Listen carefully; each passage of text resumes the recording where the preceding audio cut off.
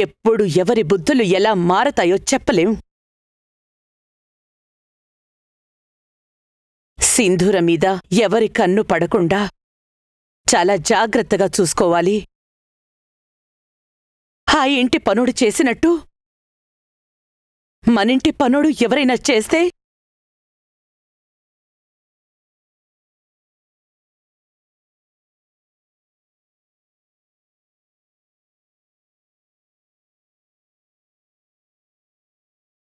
అప్పుడు మన పరిస్థితి ఏంటి మన ఇంట్లో పనిచేసేవాళ్ళు అందరిళ్ళలో పనిచేసేలాంటి వారు కాదు.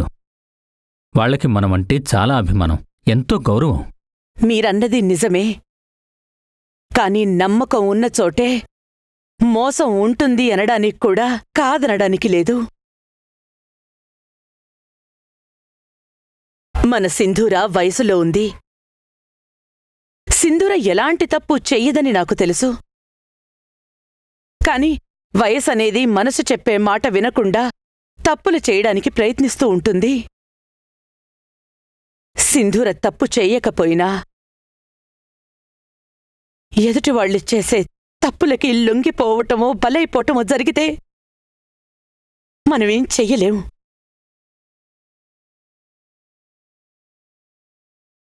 అలా జరగదని అనుకుందాం. ఒకవేళ జరిగితే పరువు కోసం ప్రాణాలు తీస్తానే తప్ప ప్రాణాలు పోగొట్టుకునేదాన్ని కాదు.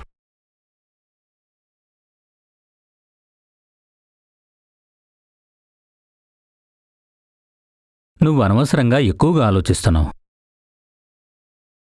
మన ఇంట్లో సింధూరని చెడు ఉద్దేశంతో చూసేవాళ్ళు ఎవ్వరూ లేరు. బయట సమాజంలో పనికి మాలిన పెద్ద వెధవలు గొప్పింటి ఆడపిల్లల మెడలో తాళి కట్టేసి ఆస్తిపరులైపోవాలని చూస్తున్నారు. అలాంటి వెధవల్ని అక్కడే చంపితే వంద మందికి భయం పుట్టి బుద్ధి మార్చుకుంటారు.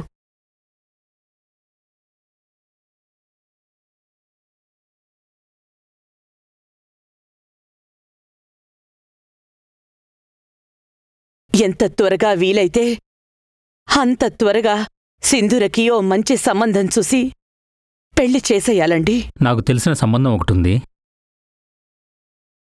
రేపు నేను చూడ్డానికి వెళ్తాను.